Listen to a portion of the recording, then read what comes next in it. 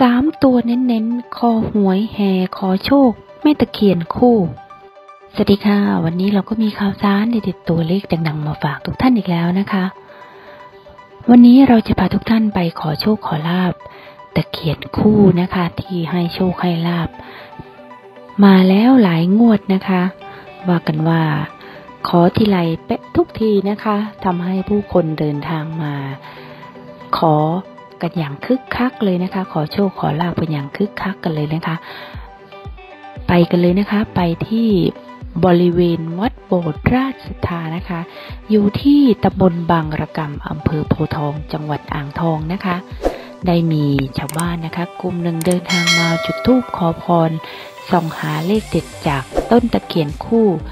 แม่ย่าสบายทอง แล้วก็แม่ย่าสร้อยสุดานะคะ หลังจากที่ผ่านมา มีผู้โชคดีถูกหวยรวยเบอร์มาหลายคนนะคะทำให้ผู้คนเดินทางมาขอโชคขอลาบกันอย่างคึกคักเลยนะคะจะสังเกตได้จากของไหว้ของแก้บนต่างๆนะคะ ชุดไทยเริ่มเต็มต้นตะเคียนแล้วนะคะ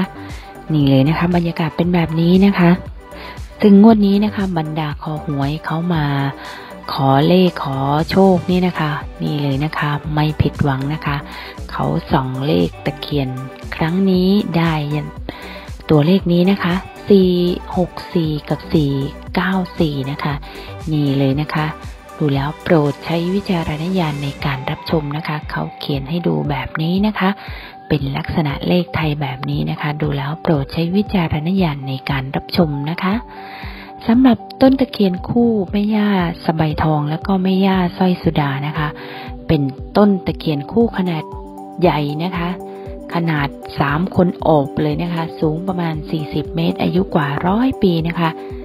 นี่เลยนะคะ เป็นต้นตะเคียนที่ตกน้ำมันด้วยนะคะ ไหลเป็นทางอยู่บริเวณกลางลำต้นเลยนะคะ อยู่บริเวณด้านหลังวัดโบสถ์ราชศรัทธานะคะ ที่ผ่านมานะคะล่ำลือ ต่อๆกันมาว่า มีชาวบ้านพบเห็นหญิงสาวสวยงาม แต่งชุดขาวยืนอยู่ที่บริเวณโคนต้นตะเคียนคู่แห่งนี้นะคะทำให้ในช่วงใกล้วันหวยออกบรรดาคอหวย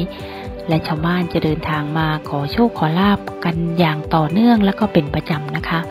บางรายก็ถูกหวยรวยเบอร์นะคะ ซึ่งคนที่ มีโชคมีลาภเพลงนะคะเขาก็จะมาแก้บนด้วยการนำชุดไทยสบายเฉียงมาแก้บนนะคะ นี่เลยนะคะจะเห็นแขวนเต็มต้นตะเคียนคู่เลยนะคะ พร้อมกับการนำละครมาแก้บนนะคะ แล้วก็มีการสร้างสารไม้ทรงไทยไว้ที่โคนต้นตะเคียนคู่นะคะ เพื่อให้เป็นที่สิงสถิตของแม่ตะเคียนทอง